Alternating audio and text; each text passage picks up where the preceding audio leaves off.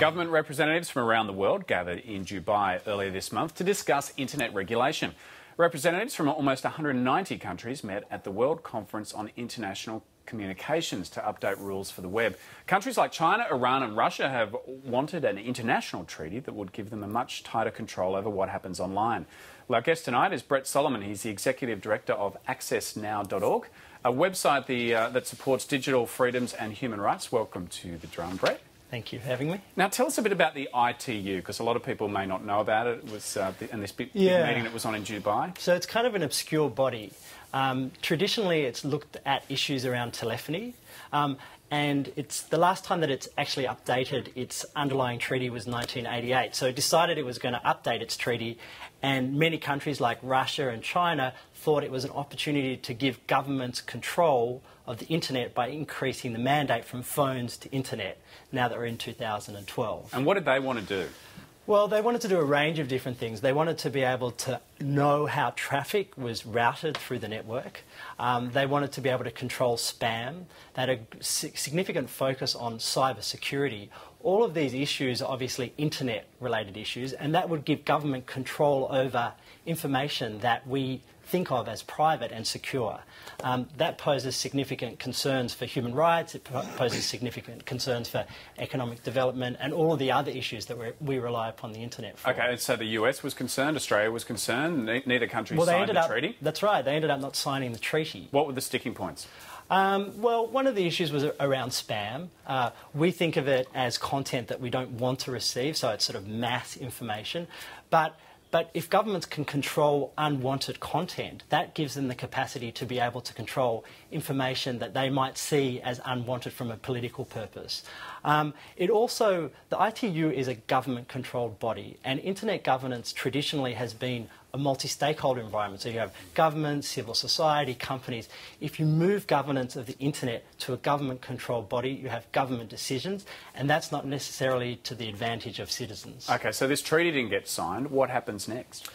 Well, I think what this meeting did, the ITU meeting, is that it pushed internet governance up to the top of the international agenda, the same way that we see the financial crisis, for instance, or climate change.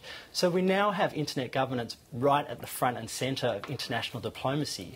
Um, and there will be a whole series of meetings. This is the beginning of the story, not the end of the story. We're going to see meetings all throughout 2013.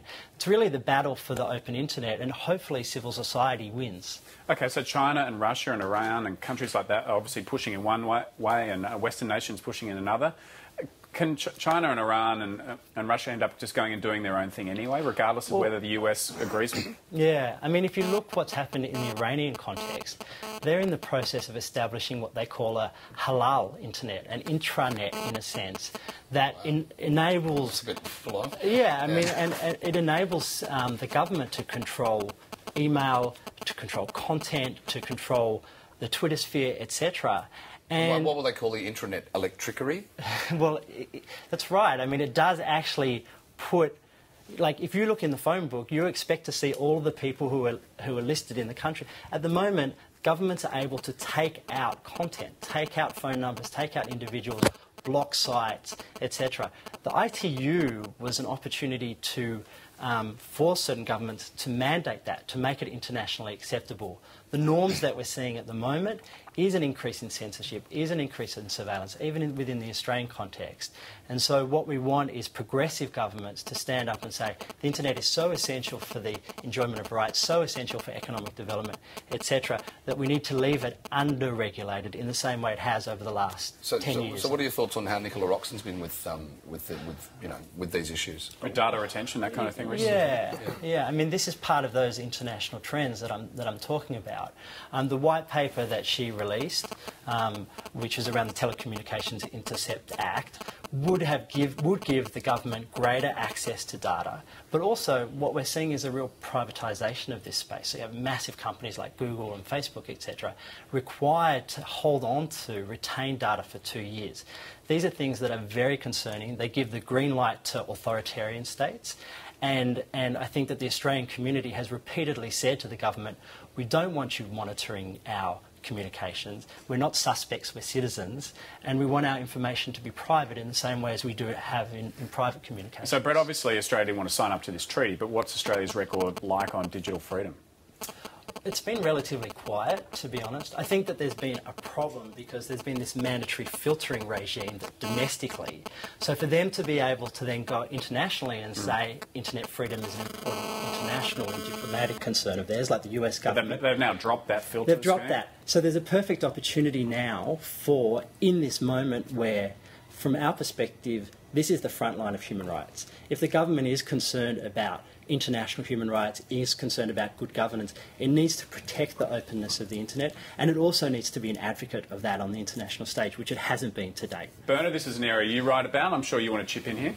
Yeah, I mean, uh, Steve, I think you put your finger on it. I mean, it, it, it was good to see Stephen Conroy and other, you know, basically other Anglophone uh, countries leading the opposition to the, you know, this reflexive instinct of a lot of countries in the ITU to try and extend the, the, you know, the, the telephony regulation regime over to the internet. But you know, the great irony was that while Stephen Conroy was over in Dubai leading the charge there, uh, you know, Nicola Roxon here has been been doing pretty much exactly the same thing on a domestic level. I mean, you know, the national security inquiry that uh, that's been going ahead is going to be going ahead a little bit longer now because it's not going to report by the end of the year like it was like it was supposed to. Is exactly the same logic that a lot of countries were trotting out at the ITU. That you know um, the, the the telecommunications and communications technology has moved on. You know we need to extend the regulatory framework to to embrace the internet. And um, you know there's a deep irony in the United States and Australia, particularly the United States, which is you know rapidly becoming one of the world's most profound surveillance states leading the charge in Dubai against, uh, against internet regulation whilst um, trying to extend the level of censorship uh, and, um, and surveillance online, you know, to, a, to an ever greater degree. And, um, and it would be, it would be wonderful if the rhetoric of freedom and, uh, and, uh, and deregulation that we heard from the Anglophone countries in Dubai about the, the ITU was extended domestically so that, um, so that we had the same sort of uh, approach of, of um, you know, being hostile to surveillance and, uh, and regulation here. Mm. No, I think that's right. I mean, there's a real schizophrenia that we see with many of the Western nations. It's important to note that it wasn't just actually the Anglophone countries within the ITU, that they were actually, there were many African states that also balked um, at the treaty. Um, so what I we. Bet Nigeria did. Um, so, so I mean, you know, this is really an inflexive point right now where we need to ensure that domestic policy and international policy are consistent and that they stand on the side of rights and also this whole new concept of digital due process we have due process offline. We need to ensure that there's digital due process uh, online, which means that we have judicial protection. That if you want information about a user, you need to get a warrant, for instance. Um, and, and, and those, that sort of environment is established. Otherwise, we do risk losing many of the protections that we've developed over the last you know, 50, 60 years. Brett, Brett just briefly, um, the whole issue of the innocence of Muslims and, and that being on YouTube and what that led to, that must lead to some kind of pressure for some form of censorship. Obviously, a very complex issue, and much of this actually comes down to terms of service.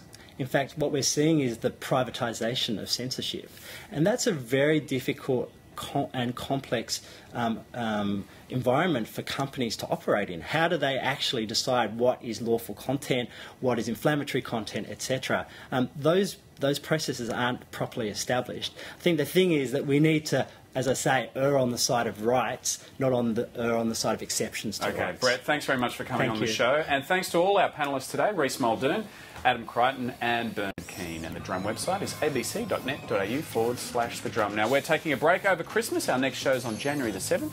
Join us again then. Thanks for your company this year. Have a great Christmas and see you in 2013.